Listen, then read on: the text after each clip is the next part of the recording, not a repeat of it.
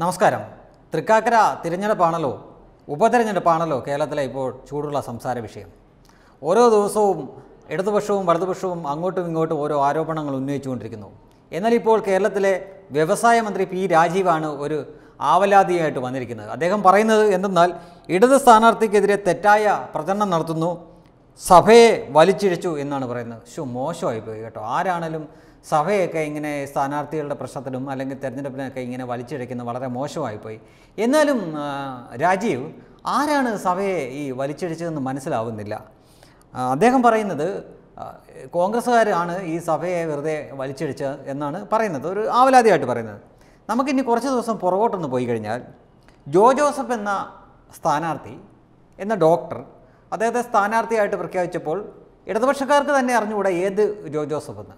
M M Mani ഒരാളുടെ photo ഇടുന്നു വേറൊരു നേതാവ് വേറൊരു ജോ ജോസഫിന്റെ ഫോട്ടോ ഇടുന്നു. അങ്ങനെ അങ്ങനെ ആകെ കൺഫ്യൂഷനാണ് അങ്ങനെ ഒടുവിൽ ലിസി ഹോസ്പിറ്റലിലെ ഡോക്ടറാണ് ഹൃദയ ശസ്ത്രക്രിയ വിദഗ്ധനാണ് ഈ ആളെന്ന് മനസ്സിലാവുകയും പിന്നീട് ഈ വ്യക്തിയെ ഓപ്പറേഷൻ തിയേറ്ററിൽ നിന്ന് നേരെ പിടിച്ചിറക്കി കൊണ്ടുവന്ന് അതേ വേഷത്തിൽ തന്നെ സ്റ്റെതസ്കോപ്പൊക്കെ കഴുത്തിലിട്ട് നേരെ പിടിച്ചിറക്കി കൊണ്ടുവന്ന് ഇവരൊരു പത്രസമ്മേളനം നടത്തുന്നുണ്ട്. ആ അതിന്റെ ചിത്രമാണ് നിങ്ങളിപ്പോൾ കാണുന്നത്. ആദ്യം ഇരിക്കുന്നത് പി രാജീവാണ്. പിന്നെ കുറച്ചിങ്ങോട്ട് മാറി നമ്മുടെ കഥാനായകൻ ജോ ജോസഫ് ഇരിപ്പുണ്ട്. അദ്ദേഹത്തിന്റെ കൂടെ വേറൊരാളും ഡോക്ടർ വേഷത്തിൽ ഇരിപ്പുണ്ട്. പിന്നെ ഇങ്ങോട്ടേക്ക് വന്നാൽ ആ ഡെസ്കിന്റെ ഇങ്ങനെ അറ്റത്തായിട്ടിരിക്കുന്ന ആ വ്യക്തി ആരാണെന്നൊന്ന് നോക്കിയേ. ഒരു ലോഹാധാരി തന്നെയല്ലേ. അതായത് ഒരു ക്രിസ്ത്യൻ പുരോഹിതൻ. ഇനി അതിന്റെ പുറകുവശം ഒന്ന് നോക്കിയേ. നമ്മൾ ഐ പി എല്ലിലൊക്കെ കാണും പോലെ. ഐ പി എല്ലിൽ വേൾഡ് കപ്പൊക്കെ കാണുമ്പോൾ അവർ പ്രസ് മീറ്റൊക്കെ നടത്തുമ്പോൾ പുറകിൽ ഇങ്ങനെ ഒരുപാട് പരസ്യങ്ങൾ ഇങ്ങനെ ഒട്ടിച്ചു വെച്ചിരിക്കും. എന്ന് പറഞ്ഞ പോലെ പറഞ്ഞ പോലെ ലിസി ഹോസ്പിറ്റലിന്റെ പരസ്യമാണ്. എന്തായാലും ഇതൊരു പേയ്മെന്റ് സീറ്റാണെന്നൊക്കെയാണല്ലോ പറയുന്നത് എങ്കിൽ ഇങ്ങനെ പരസ്യമായിട്ടെങ്കിലും കുറച്ച് മുതലാവട്ടെ എന്ന് വിചാരിച്ചാണോ ഇത് ഇങ്ങനെ ചെയ്തതെന്ന് അറിഞ്ഞുകൂടാ? ഇനി കാര്യത്തിലേക്ക് വരാം. ഇവർ ഈ പത്രസമ്മേളനം നടത്തുമ്പോൾ ഈ കൂടെ പിടിച്ചിരിക്കുന്ന വ്യക്തി സി പി എമ്മിന്റെ ആരുമല്ല.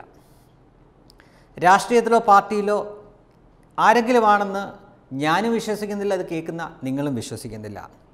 പിന്നെ എങ്ങനെയാണ് ഈ സഭയിലെ ഒരാൾ ഉത്തരവാദിത്തപ്പെട്ട ഒരാൾ ലോഹയിട്ട ഒരാൾ ഈ സ്ഥാനാർത്ഥി പ്രസ് മീറ്റ് നടത്തുമ്പോൾ അവിടെ വന്നിരുന്നത്?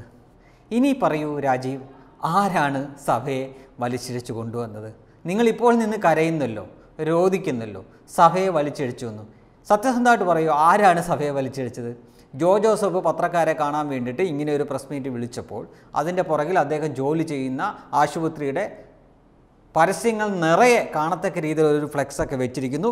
പിന്നെ അതിന്റെ സൈഡിലായിട്ട് ഒരു പുരോഹിതനെ കൊണ്ടിരുത്തിയിട്ട് ഈ പത്രസമ്മേളനം നടത്തി കഴിഞ്ഞതിന് ശേഷം ഇപ്പോൾ നിന്ന് പറയുന്നു സഭയെ അനാവശ്യമായിട്ട് വലിച്ചിഴച്ചെന്ന്. പിന്നെ മലയാളി പ്രഭുത്വനായതുകൊണ്ടും ഏറെക്കുറെ കുറേ ആളുകളെങ്കിലും ഈ ഇടത് എക്കോ സിസ്റ്റത്തിന്റെ ഭാഗമായിട്ട് അടിമ മനസ്ഥിതി ഉള്ളവരായതുകൊണ്ടും അവരെ പറ്റിക്കാൻ വളരെ എളുപ്പമാണെന്ന് അറിയാവുന്നതുകൊണ്ടാണ് പി രാജീവിനെ പോലെ ഒരാൾ ഇത്ര പച്ച നുണകൾ പടച്ചുവിടുന്നത് എന്ന് അറിയാൻ വയ്യാഞ്ഞിട്ടല്ല. മറ്റൊരു സംശയം കൂടെ ചോദിച്ചോട്ടെ. ഇദ്ദേഹം ഡോക്ടറാണ്.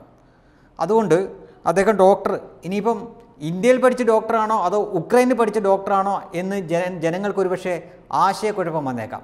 അതല്ല ഞാൻ ഇന്ത്യയിൽ തന്നെ പഠിച്ച ഡോക്ടറാണെന്ന് അറിയിക്കാൻ വേണ്ടിയിട്ടാവും ഒരുപക്ഷെ ആ ഡോക്ടറുടെ മുഴുവൻ വേഷത്തിൽ തന്നെ വന്നിറങ്ങി നിൽക്കുന്നത്. ഇനി ഒരു സംശയം ചോദിച്ചോട്ടെ.